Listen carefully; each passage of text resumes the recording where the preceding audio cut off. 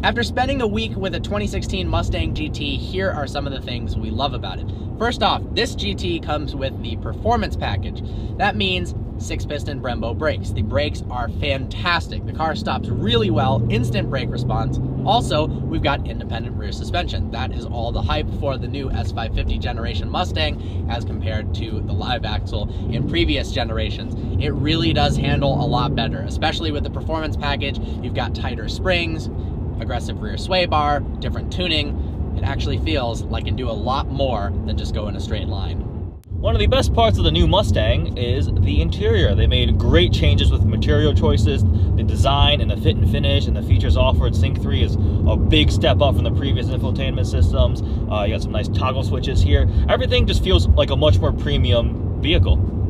Next is the exterior. Both of us really like the way the exterior of the Mustang Understand that when it was initially released, it kind of took people by surprise. It looks a lot more refined and European not the retro like, muscle car like exactly. But as people have gotten used to it, as it's become more normal to see these Mustangs on the road, it's incredible how designers know what looks good before you do.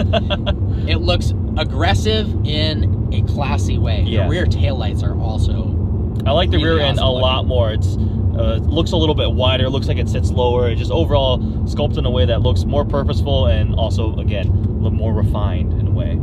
The Ford Mustang is all about performance. Starting at around $35,000 for a Mustang GT, you get 435 horsepower and 0 to 60 in the mid 4 second range. That is really quick. Downshift into second, floor it.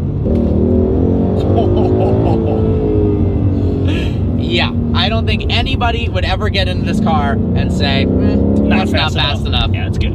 Lastly, the seats. This has the optional upgraded Recaro bucket seats. They're great. They hold you really nicely, great side bolstering. These are also leather covered, so they feel a little more premium, but it strikes a good balance between being comfortable, but also serving the purpose of holding you in place. Good option. Definitely. Like the performance package, you gotta have it.